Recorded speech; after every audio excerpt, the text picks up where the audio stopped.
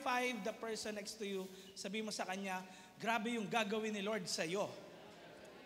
Amen. Amen. Palakpakan natin si Lord. Come on. Bago tayo umupo. May mas lalakas pa dyan. Amen. Amen. Malaya tayo makakaupo ngayon. Excited ako dahil meron tayong bagong series and alam ko makaka-relate ang bawat isa sa atin. Alam niyo po, yung series topic natin, napakabilis kasi ng panahon. Last week, May, di ba? Sino nandito dito last week? Come on, di ba? And ang naging series natin nung month of May ay tungkol sa seeds of faith. But today, pag-uusapan naman natin yung theme, living a satisfied life. Sabihin nga natin, living a satisfied life. Again, again, again. Okay? Living a satisfied life. Pag sinabing satisfied, alam niyo po, kontento ka. At ganun din naman, ito yung plano ng Diyos sa bawat isa sa atin. Pag sinabing satisfy, yun yung, alam niyo yung kung nakainom na kayo ng tubig, tapos di ba ang laki-laki ng baso, pero yung binigay sa'yo, konti lang. Di ba? Parang kulang, no? Pero yung satisfied, yung alam mong malamig, tapos punong-puno. Amen? And actually, yun yung gusto ni God na plano niya sa buhay ng bawat isa sa atin. That as Christians, as His followers, we live a satisfied life. Unfortunately, si Satan o ang Diablo gusto niyang sirain ang buhay ng bawat isa sa atin. Marami sa atin, sa totoo lang, kulang ng satisfaction. Laging gusto pa natin, may isa pa, laging, again, ito na naman, ano? Alam niyo po, gusto ni God na ang bawat isa sa atin satisfied, contented, at ang lahat sa bawat isa sa atin, meron tayong um, meron tayong puso na kung saan binibigay na natin sa Kanya yung lahat ng gusto natin, hindi tayo focus sa puro material things, but on Him. And pag sinabing satisfied, hindi ibig sabihin na nasa iyo na lahat ng bagay sa mundo. Kung hindi tumutukoy yon sa satisfaction na kung saan, kung meron ka, it helps you out sa buong buhay mo. Hindi ka nagkukulang. Amen? Dahil gusto ni Lord punuin yung baso ng bawat isa sa atin. Now, alam niyo po, yung topic natin this afternoon is all about satisfied life sa book ng James. Si James po ay isa sa mga disciples ni Jesus. But this James, actually, siya po ay kapatid din ni Jesus. Si Jesus, of course, he was conceived sa womb ni Mary miraculously, ano? Dahil hindi nagkaroon ng pagsisex si Joseph and si Mary, but sila ay nagkaroon ng anak. Now, of course, syempre, dahil asawa, after na makonceive ni Jesus, mapanganak si Jesus, of course, nagkaroon na rin ng ibang anak din, si Mary and si Joseph. Ngayon, si James na ito, hindi ito yung James na kapatid ni John. Okay? Hindi ito yung James na kapatid ni John. Ito yung James na kapatid ni Jesus. Now, satisfied life, next slide please. Ito yung nagre-refer sa state ng contentment. Meron kang sense of fulfillment. And meron kang kasiyahan sa lahat ng bagay. Natutuwa ka dahil lahat ng pangailangan mo na po-provide. Okay, magkaiba yung wants sa needs. Tandaan natin yan. Iba yung wants sa needs. And of course, yung mga aspirations mo rin sa buhay na mi-meet. May experience ka ng inner peace sa buhay mo. May kapayapaan ka sa puso, hindi ka bagabag, hindi ka natatakot. Actually, itong ating main idea sa sermon na to is all about pangangailangan para sa tunay na pananampalataya na nagbubunga ng pagkilos na naayon sa paniniwala ng isang tao. Now, who among you would say na kayo ay Christian? Follower of Christ. Come on, sige. Taas kamay. Ako, follower ako ni Christ. Okay? Now, ang tanong sa bawat isa sa atin, nakikita ba yon ng mga tao around us? Yun ba yung kinamumuhay ng bawat isa sa atin? Yung ba yung pinapamuhay natin in and out of the church, in and out of the school, sa loob at labas din ng opisina natin. Ano? Now, kailangan nagbubunga ito sa ating buhay. And what I'm talking about dito, hindi ito tumutukoy dun sa uh, nagpe-pray ka, nagbabasa kang Bible, ano, pero more on actions na kung saan sinasabi mo nga kristyano ka pero nakikita ko sa iyo paano ka magsalita, kumilos, makitungo sa mga tao, ano. It is more ju- than just yung mga things na ginagawa natin religiously na mga bagay. Now, ang tanong sa bawat isa sa atin, ano ngayon yung five points na kung paano mamuhay ng satisfied life? And today, alam niyo po, we will learn from the book of James at message niya sa lahat ng believers. Ready na ba kayo doon? Amen. Now, number one, maging masaya sa pagsubok. Ang ganda ng ano, no? Ng advice ni James, maging masaya ka lang. Parang ang hirap nun sa totoo lang. Lalo na kapag may mga bagay na hindi mo inaasahan sa buhay mo. Naglilingkod naman ako kay Lord, lagi naman ako uma-attend, lagi naman ako nagbabasa ng Bible, nagsiserve pa ako, may member ako sa ganitong ministry, I do my connect group every week, uma-attend ako ng ganito. Pero pag na-meet na tayo ng mga things na hindi natin inaasahan sa buhay natin, problems and trials of any different kind, parang ang hirap na ngayon maging masaya. Si Bishop, pag siya nagbe-preach, lagi niya sinasabi, dalawa lang daw ang dahilan kung kaya di masaya ang tao. It's either talagang meron siyang pinagdadaanan sa buhay or walang pera. Ano? Most often, yun ang kinakaharap din talaga ng bawat isa sa atin. But actually, yung faith ng bawat isa sa atin, sinusubok ito sa mga trials na pinagdadaanan natin sa buhay natin. Yung faith natin, yung tiwala natin kay God, Tumitibay ito kapag dumadaan tayo sa mga trials. Imagine nyo, no? Ang diamond po, sino nakakita ng diamond dito? O kaya diamond, diamond dan sa Quiapo, no? di ba? Yung pag nilighteran mo, nasusunog, di ba? But actually, yung diamond, alam niyo po, yung presyo pala niya, nung nakita ko, nagdi-differ lang sa napakaliit na hiwa sa diamond. Kapag hindi refined yung paghiwa, o bawas na ng ilang libo yan. Pero pag refined yung diamond, what will happen? Nagmamahal yung price. And parang tayo, sinusubok tayo sa apoy lahat. Yung faith mo, inaayos at pinapatatag ng mga trials para sa ganon, maging maganda, maging matibay, at lalo higit sa lahat, tayo po ay magkaroon ng patuloy na paglilingkod sa Panginoon na hindi nag-give up. Sabi mo sa katabi mo, huwag ka mag-give up. Okay? Sabi ni James, in James chapter 1 verse 2, alam niyo po, yung mensahe na to ni James, sa lahat ng Kristiyano to. And kung, if you really follow Christ, tayo rin sa 21st century, we believe, amen, merong tayong matututunan sa mensahe ni James sa mga Christians 2,000 years ago.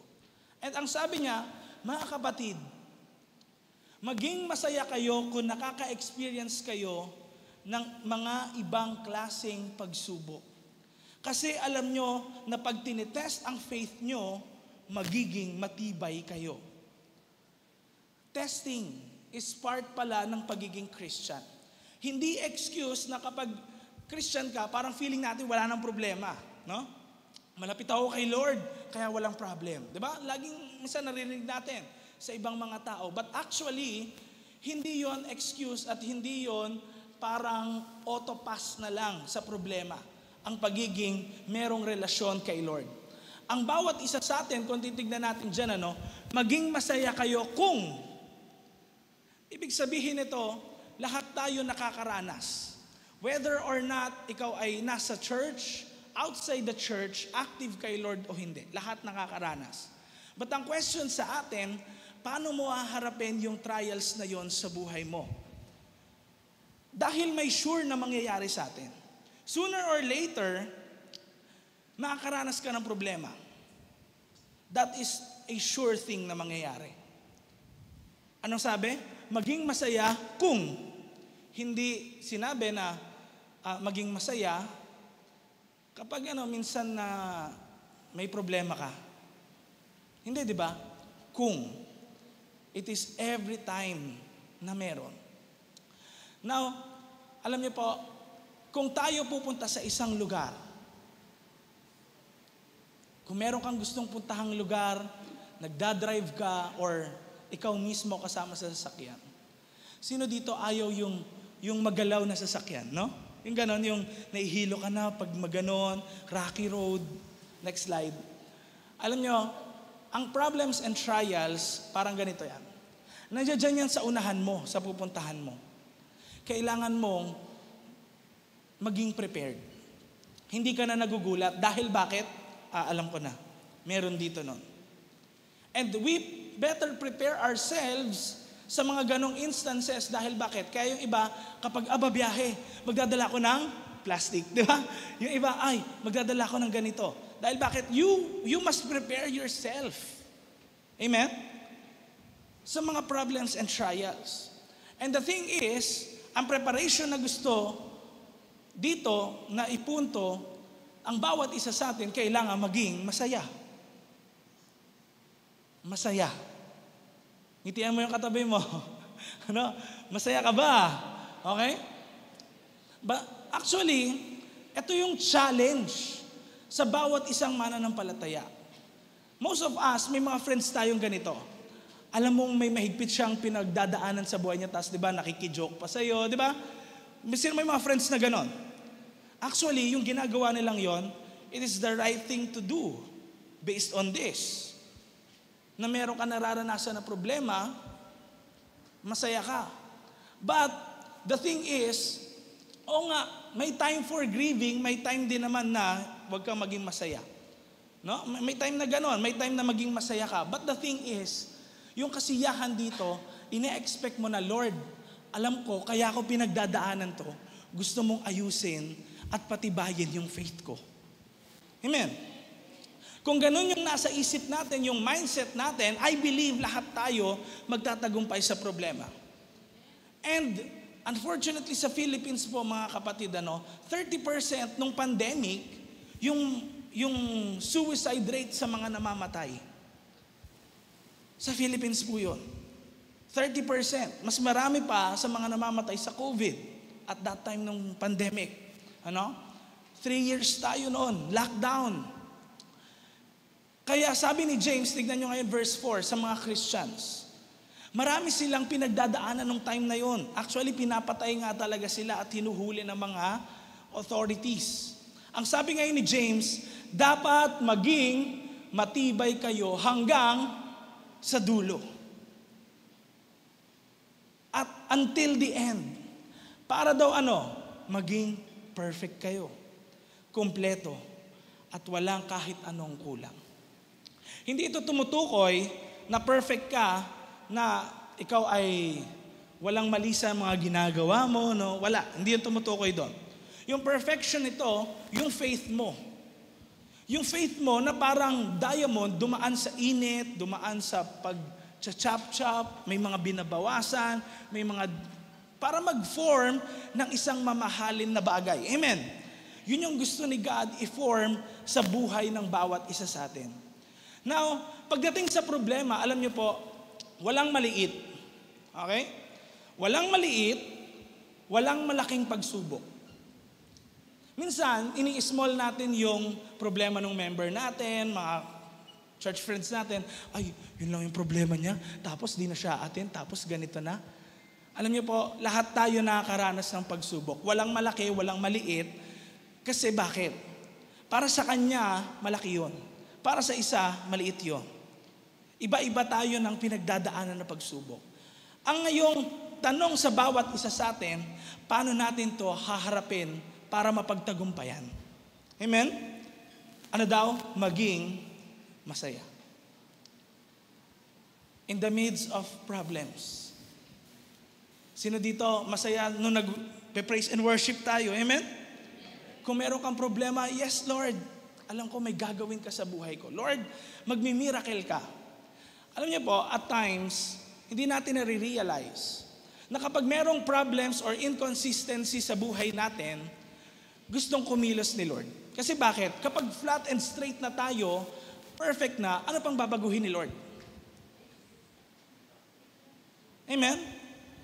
Kaya we are imperfect beings. Nagpapaayos tayo sa ating dakilang manlilikha. Amen?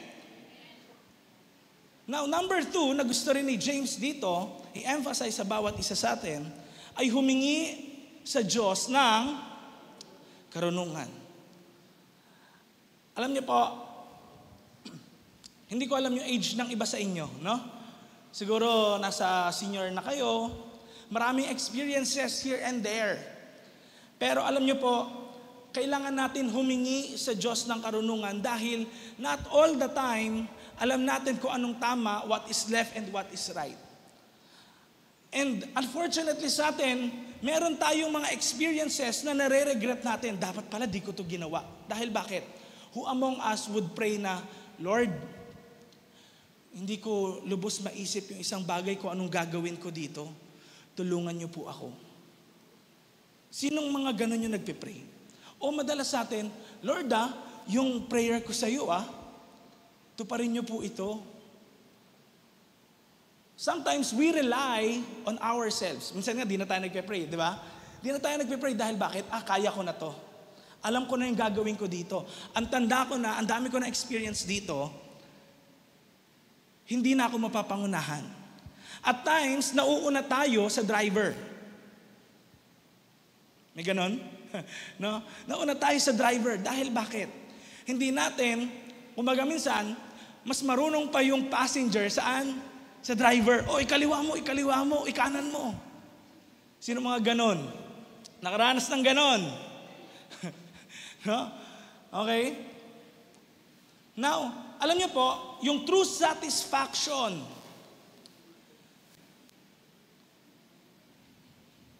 Ito po ay dumadating kapag inaalay natin yung thoughts natin, yung actions natin kay Lord. Lord, kung ano po yung kalooban nyo, ito yung mangyari. Lord, bigyan nyo po kami kung ano yung dapat naming gawin sa problemang to. Alam nyo po, sa labas, maraming kumakatok sa mga sasakyan. Pagtigil, di ba? Tama ba ako? Pagtigil, maraming kumakatok sa sasakyan, tapos sasabihin na, ay, manghihingi po Wala namang masamang magbigay. But kung ilalagay mo yung sarili mo sa taong nangihingi, nabubuhay ka, naka-Nike ka pa na shoes, naka-bench ka na damit, ano yung ginagawa mo, ginagamit mo ba rin yung binigay sa iyo ni Lord na karunungan para mapagtagumpayan yung problema rin sa buhay mo? Kasi I believe all ideas actually na bright and beautiful, nakakatulong sa mga tao, they are all God sent sa buhay ng bawat isa sa atin. Basta nakakatulong yan, hindi nakakasama, I believe so. Tingnan na lang natin yung mga mayayaman sa paligid natin. Why did they became rich? Ginamit nila yung isipan nila. Amen? Even though yung iba sa kanila, they did not, they don't recognize Jesus sa buhay nila, pero nagtatagumpay sila dahil bakit? our mind is really powerful. Amen? But the thing is, o nga, kung meron kang powerful mind, you need to submit it then to God. Marami kang plans, pero alam ko mas greater yung plans ni God sa buhay mo. Alam nyo, noong 2016, um, si Bishop po at si Pastora Isbel, naaprubahan na sila sa visa nila, no? sa flight namin papuntang Canada. And nandoon kasi po sa Canada yung mga mahal namin sa buhay, magta-travel daw doon, Vancouver, Toronto, ganyan-ganyan. Then, syempre, nagtitest po ako noon, mga March yun eh, around March or April. Finals na namin noon. Graduating po ako noon. Alam niyo po, tinawagan ako, Pastora Isbel. Sabi niya sa akin, anak, nakuha na namin yung visa mo. Ah, nakuha na namin yung visa namin. Yung sa'yo na lang yung wala. Baliktad, no? Nakuha na namin yung visa namin, ikaw na lang yung wala. Alam niyo po, ako kasi, nag-iisa lang akong anak. Wala, wala akong kapatid. No? So pag umalis sila, syempre, sino matitira? Ako lang, di ba? Nakakalungkot din na yung mga mahal mo sa buhay, ano. But the thing is, alam niyo po, at that time, sabi ko, okay ma. Then alam niyo po, after ko magpasa ng exam, pumunta ako sa CR ng PUP. Polytechnic University po ako nag-aral, no? Sinong galing doon? Okay, ayan, may mga galing ng PUP. Alam niyo po, grabe yung CR doon. Kabantot po talaga. Ako ho nagsasabi sa inyo, pagbukas nyo ng pinto, pagbukas nyo ganun, gates of hell. Talagang parang impyerno yung baho. Pero alam nyo, dun sa CR na yon, dun ho ako napaiyak. Hindi napaiyak dahil sa baho, ah. Hindi. Hindi, okay? Napaiyak ho ako dahil sabi ko, Lord, ito yung time na kailangan ko mag-miracle ka sa life ko. Ginawa namin, Lord, lahat ng karunungan namin, paano ako ma-approve sa visa. Kasi pala kapag ikaw ay graduating, bihirang ma-approve yung visa mo, to travel visa. Okay? So, Lord, binibigay na namin sa'yo. And you know what happened? Natuloy ako. Nakuha ko yung visa. It is by God's grace. Meron tayong mga knowledge, meron tayong sarili nating mga diskarte sa buhay, pero when we give ourselves sa kalooban ni Lord, siya yung kikilo sa buhay natin. Amen? Sabi ni James ngayon, in verse 5, meron sa inyong kailangan ng wisdom. Ano daw sabi? Humingi sa Diyos at makakatanggap ka. Kasi mapagbigay ang Diyos at lahat, sa lahat at hindi nanunumbat. Lord, bigyan niyo po ako ng wisdom. Paano ko po maaangat yung estado ng pamilya namin? Ano pong kailangan kong gawin? Lord, magbi-business po ba ako? Lord, saan po ba ako mag apply na trabaho? Help me, Lord. Kaso, ang problema sa atin, baka, sige Lord, hinihintay ko na. Hindi ka naman nag-apply ng trabaho, wala kang in-applyan na kumpanya, hinihintay mo na lumapit sa iyo. In this, binibigyan din tayo ng Diyos, of course, kailangan kumilos ka. Amen. Kailangan din may gagawin ka. Hindi puro isip. Amen? Number three, samahan ang pananampalataya ng aksyon. Sabihin nga natin, samahan, excuse me lang po, inom lang akong tubig.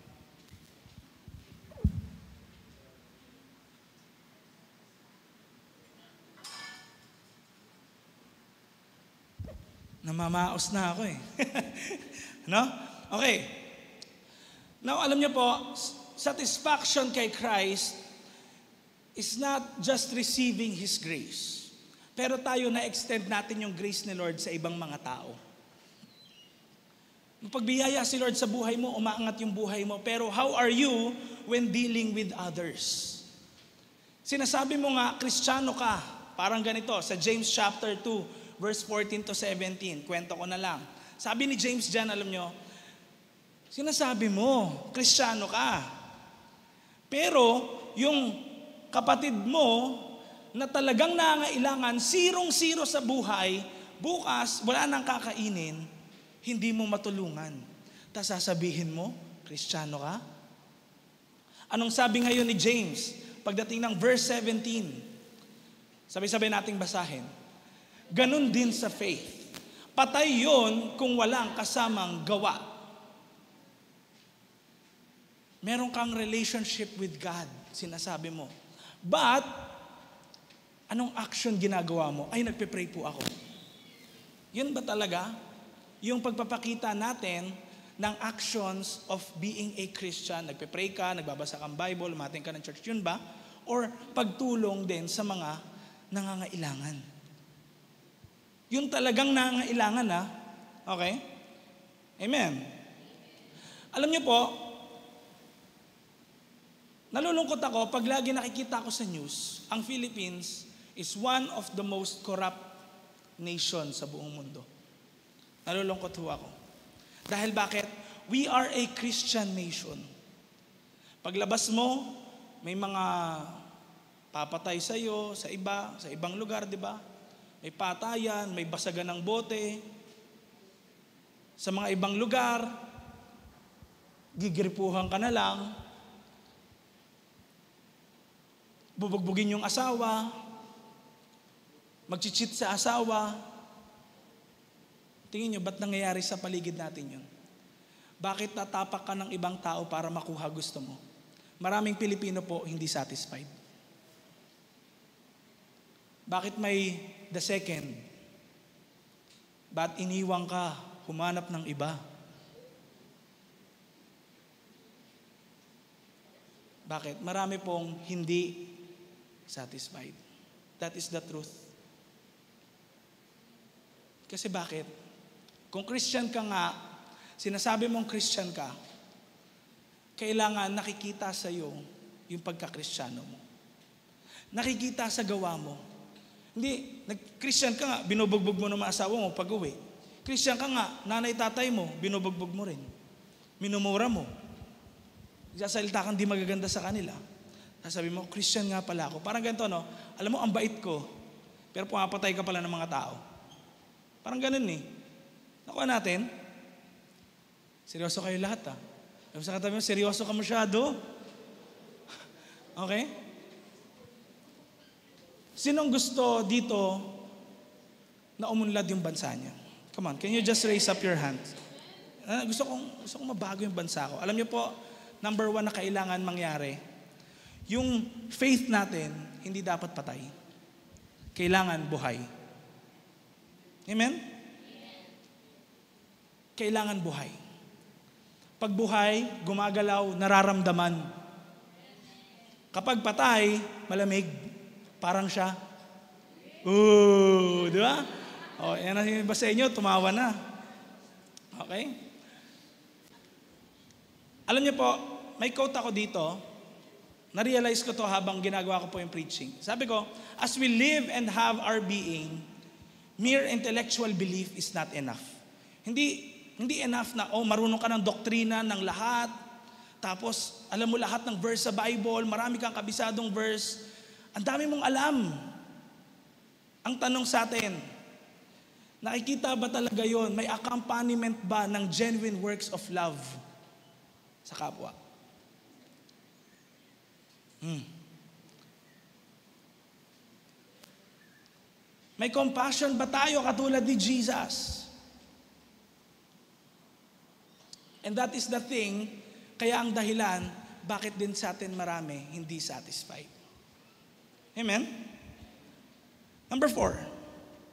One, two, three, go. Sabihin, na, sabihin natin. Mag-ingat sa bibig. Paano pong pag-iingatin ang bibig? Alam niyo po, ang words natin, yung mga bagay na lumalabas sa bibig natin, it may either build yung isang tao or will destroy him or her. And pwedeng meron kang sinabi sa isang tao, hindi mo naman meant, parang sa atin ang hirap na bawiin. Tama ba? Or madalas, yung sinasabi sa iyo ng mga tao, yun pa yung hindi mo makalimutan. Yung mga sinasabi sa atin ng mga tao around us, it shaped us. Pag sinabi sa'yo, ang pogi mo, tingin mo talaga sarili mo ang pogi mo. Sabi nga ni Kajed yun, di ba, sa atin. But the thing is, alam niyo po, kailangan yung words natin, wise talaga na nagagamit. Kasi pag hindi wise nito nagamit, alam niyo po, mangyayari sa atin, parang gripo. Na kung saan, akala natin, naihiwalay yung burak na lumalabas doon tapos malinis na tubig. Hindi pwede ho yun mangyari, di ba? Sino dito yung nung nilinas nung may nilad o nung nawasa yung tubig nila, di ba meron mga lumalabas na mga parang dumi-dumi, di ba? Hindi pwedeng pagbukas mo ng gripo, kalahati, itim, kalahati, puti. Hindi pwede, di ba? Unfortunately, sabi ni James, ito no ngayon, James chapter 3 verse 9, sabi niyo, ginagamit natin ito, alin yon? Bibig. Okay? Para magpasalamat sa ating Panginoon at Ama. Parang, Lord, thank you po dahil ang dami niyong ginawa sa buhay ko. Napaka-gracious niyo, dakila ka. And then, ano daw? Tapos, ginagamit din natin ito para sumpain ang ibang tao. Na ano? Kinreate sa imahe ng Diyos. Napaka-dangerous talaga pala ng bibig natin. Sometimes nga, hindi natin to makontrol.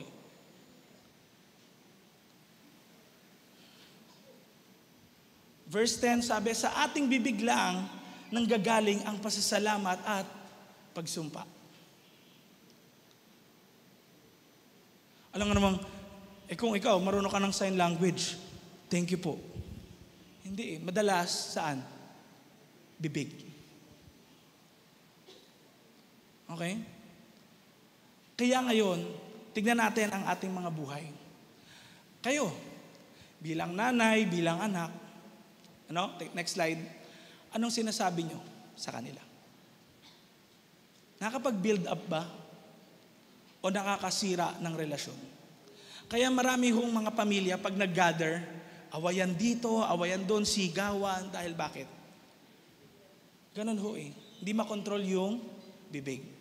Hindi tayo nag-iingat, kaya yung mga relationships, nagkakawasak-wasak. May mga words tayong hindi matanggap, kaya tuloy nangyayari, sira yung relasyon. Kahit gaano pa katagal yan. Di ba? Alam niyo ho, sa mga kapitbahay na lang natin o kahit sino man sa atin na laging maingay. Alam niyo po, madalas siguro, no? Hindi sila yung satisfied. Bakit? Pag ba satisfied ka, kailangan mo magingay? Pag satisfied ka, di ba, anong ginagawa ng marami? Papahinga na lang. Tutulog, magre-relax. Pag satisfied ka, hindi ka satisfied sa buhay ng iba. Kaya ano gagawin mo? Sisirain mo, mamaritesin mo, chismosa na dito, mag, ang, mag ano ka, magbubuo ka ng group nyo. Para pag-usapan yung isang tao. Dahil bakit? Maraming hindi kontento. Kaya kung titignan natin ngayon, how are we? Next slide. When dealing with other people. Sa girlfriend nyo, boyfriend nyo, asawa nyo, anak nyo, kapatid nyo, nanay nyo, tatay nyo, lolo nyo, lola nyo. Lahat. Ka-office mate nyo, kaklase nyo, how do you deal with them? O normal na lang sa inyo, uy, mumurahin mo. O hindi. Kasi yung iba, nangyayari, nagiging, ano na sa kanila, natural yung bagay na yun. Pero being a child of God, someone na follower ka ni Christ, hindi mo lifestyle yun. Amen. Ang lifestyle mo, it's a lifestyle of love. Sabi po ng isang aunt ko, narinig ko, sinasabihan niya yung anak niya. Sabi niya, alam mo anak, Less talk, less mistake. Marami tayong pagkakamali sa buhay natin, nagmula sa bibig natin. Marami tayong sinabi, niregret natin dahil sa bibig natin. E tayo ngayon, next slide. Nag-worship kay Lord, pataas-taas ng kamay, pray. Oo nga, it's good. Walang mali sa mga yan. But how are you outside ng church? Yun ngayon yung dinidil ni James sa mga believers. Kasi alam niya, lahat tayo nabibless sa praise and worship. Amen. Katulad kanina, sino dito na-bless? Grabe no? Ramdam mo yung presence ni Lord. But then, kung ramdam mo talaga presence ni Lord, kailangan nakikita sa labas. Yun pala, yung susi. Amen? Number five, last but not the least. Sabay-sabay nating basahin magpakumbaba o tinatawag na humility. Alam niyo po, ang bawat isa sa atin, we must humble ourselves before God na siya, nagde-depend tayo sa Kanya. Lord, kung ano yung naisin mo, Lord, hindi ako sa galing ko na, nakatingin, sa dami kong alam. Lord, hindi ako nakatingin sa experience ko, sa ability na meron ako, sa skills na meron ako, sa anumang material thing na meron ako. Lord, nagtitiwala ako sa iyo. Alam niyo, sabi ni James, in James chapter 4 verse 10, maging humble kayo sa harap ng Panginoon at itataas niya kayo. Ewan ko ah, pero outside, kapag nasa school, kung sino yung bida-bida sa klase, siya nagiging leader, siya nagiging president, no, siya nagiging leader ng group. Madalas ganon, di ba? Kung sino yung maingay, sino yung ano. Pero ba't ganon? Iba ngayon sa kaharian ng Diyos. Ano daw? Para tumaas ka, ano? Kailangan mo magpakababa. Ibang-iba, no? Di ba sa atin madalas parang kailangan pag tumaas ka, kailangan confident ka, ganito ka. Hindi pala. Lord, yung confidence ko wala sa akin, nasa iyo, Lord. Lord, ang dami kong alam, dami kong galing, pero Lord, nasa iyo. Sino dito yung ano, yung nung nakita ka ulit ng friend mo, sabi niya sa'yo, Uy, ang saya mo na ngayon na napagtagumpayan mo na yung problem mo. Anong sabi niya? Baka may ganito sa inyo, no? Siyempre, ako pa ba? Kayang-kaya ko to, men. No? At times, we say those things, pero do we really meant it na kaya natin yon? Tayo lang yon? O should we say na, Lord, si, si Lord yun eh. Hindi ako. Kaya ko pero si Lord kasama ko. Tumutulong siya sa buhay ko. Amen? Yun yung gusto niyang mangyari sa atin. Now, alam niyo po, true satisfaction comes when we surrender our desires, ambitions, at lahat ng mga bagay na gusto natin. Sinusundan natin na, Lord, sige, kung ano yung kalooban mo, yun yung mangyari. Lord, kung ano nyo po to, dito talaga kami, mangyari po. Pag lumipat ka ng bahay, pinag-pray mo ba kay Lord? O hindi, ito maganda, ito magaling, ito okay. Ganun ba tayo? O Lord, kalooban nyo ba to? Lord, okay po ba dito? At times na fail natin na i-consult si God sa mga decisions natin in life. Kaya sooner or later, ano nangyari? We regret things. Hindi tayo satisfied. Kasi hindi natin siya pinauna. Now, sa conclusion natin, sino dito sumasakay ng jeep? Taas kamay. Okay? Sino rin sa inyo dito nagbabas? Taas kamay, okay?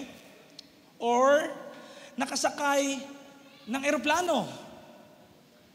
Okay? Sino sa inyo yung pangarap makasakay ng eroplano? Okay? Ito tanong ko sa inyo, no? Sa kada sakay nyo ba ng jeep, kilala nyo yung driver? Yeah. Kilala niyo ba yung driver na, ito, maayos tong, aayusin niya yung pagmamaneho niya. Iba sa atin siguro kinakabahan. Pero most of the time, di na natin naisip yun. Pagsakay ng jeep, bayad iniisip natin, di ba? Tapos yung gagawin mo pa mamaya sa trabaho, sa school. Pero, yung driver, hindi natin lubusang kilala. Tapos, kampante lang tayo, ay, iniisip na natin yung gagawin natin sa susunod na oras, di ba? May peace tayong nararanasan. Hindi natin kilala yung piloto kung marunong ba talaga yun o hindi. Pero payapa yung loob mo, di ba?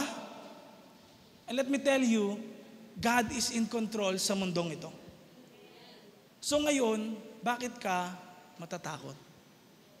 Bakit ka ngayon mangangamba sa future mo? Alam mo na yung driver ng buhay mo at ng mundong ito, ang Diyos. Amen? Kaya, conclusion natin, magtiwala ka sa Diyos na buhay. Sa katabi mo, magtiwala ka. Sa kabila, magtiwala ka. Okay, review tayo. Ano yung limang points? Paano mamumuhay ng satisfied life? Number one, magalak sa pagsubok. Number two, number three, Number four.